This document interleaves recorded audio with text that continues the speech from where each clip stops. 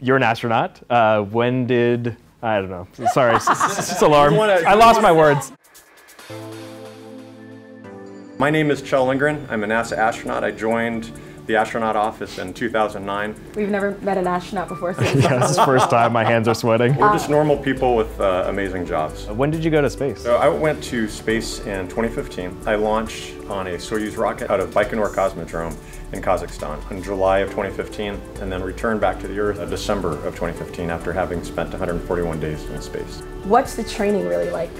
The training is amazing, and I think that many folks will tell you it is the second best job in the world to, to actually getting to fly. We mm. spend two years learning the basics of, of being prepared to fly. And so that includes robotic arm operation, space station systems, how to do a spacewalk, uh, flying in the T-38 jet as a space flight readiness trainer, and then finally learning the Russian language. And once you've been assigned to a mission, begins another one and a half to two years of training for that specific mission. We heard you were in a very long spacewalk. Uh, could you tell us a little bit about your experience there? I got actually to do two spacewalks during my mission. Both of my spacewalks were over seven hours. They are an unforgettable experience. The opportunity to go outside, to wear that very iconic spacesuit, to see the Earth and the outside of the space station, to do technically complex work outside, to do it successfully, and then to get back inside safely. It's something I'll never forget. I heard the spacesuit was like 300 pounds?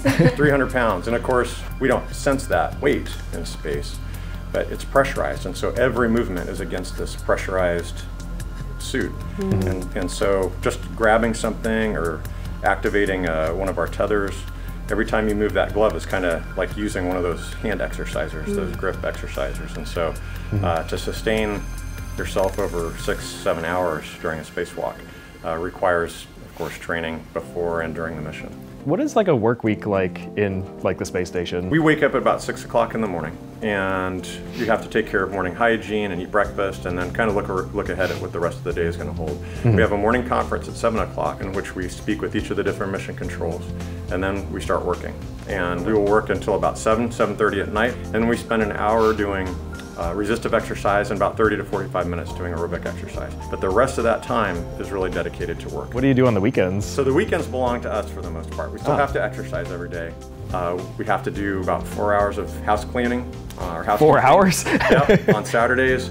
But beyond that, the days belong to us. And so mm. that's a great time to talk with friends on the phone, and then really just to look outside the window. So did you have a specific mission when you were out there in space? So I was a part of Expedition 44 and 45. The overarching interest in our mission really had to do with the one-year mission that Scott Kelly was on. That one-year mission, I think, will really uh, help to inform our future exploration. Was it weird coming back after all of that? It felt right. It felt like the bookend of uh, an amazing experience.